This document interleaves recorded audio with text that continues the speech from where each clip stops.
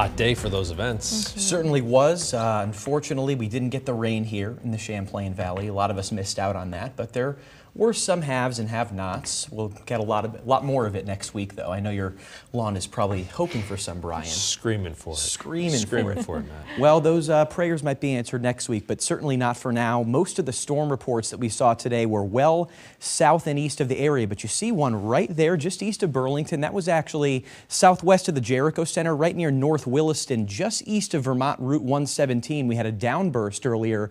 Damaging winds took down some trees, caused a power outage right around 5:53 p.m. And we can actually see on radar what the downburst looked like. Now, what this is is wind speed and direction with respect to the radar, which is right there uh, between Burlington and Colchester. Now, this portion of the storm is moving toward the radar, while this other eastern side of it moves away from the radar. So, what that tells us is the air from the storm is dropping toward the ground and then spreading out rapidly in all directions. And that's really what caused the damaging wind signature that we picked up just southwest there of Jericho. So, no severe weather left on Storm Tracker, just some. Uh, Lightning strikes down to the south there into the upper valley. We do have some showers over northern New York, just north and west of the Saranac Lake area, drifting north to south. So generally we see a drying trend overnight for those of you who did see the rain. Looking at the temperature map though, you can tell it didn't rain in Burlington. Still at 77 here, while most everybody else, especially east of the Green Mountains, falling into the low and middle 60s.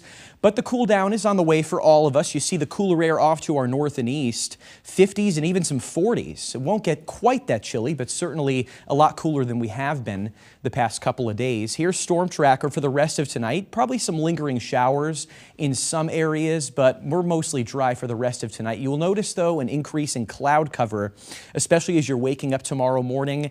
Now, the theme of the weekend is generally going to be more sunshine the farther north and west you are across the forecast area, more clouds the farther south and east you are. Notice how they stick around into the upper valley, most of the Connecticut River Valley as we head into Saturday afternoon. Should see a lot of clearing, though, for northern New York and the Champlain Valley.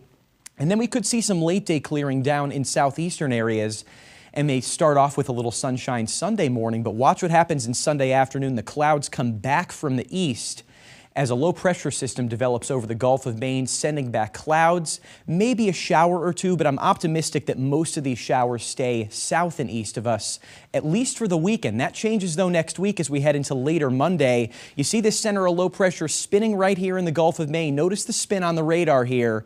And what it actually does is sit there and stall out. So that actually throws back some moisture from the northeast as we head into Tuesday.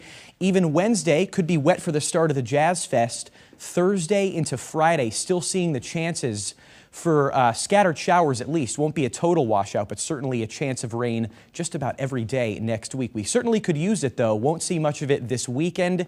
A beautiful Saturday for northern New York. Clouds give way to sunshine. Lots of temperatures in the 60s there. Could touch 70 near Lake Champlain. Should be near 70 in Burlington as well. S lower 60s though as you head farther east, and it could even stay in the 50s for our New Hampshire counties, and especially toward the lower Connecticut River Valley. Only 59 tomorrow in Springfield with plenty of cloud cover, so it'll be a nice refreshing change from where we've been. 70s though for the Champlain Valley through Monday, and then Tuesday we start to cool off with those showers. Should start to dry out by next weekend.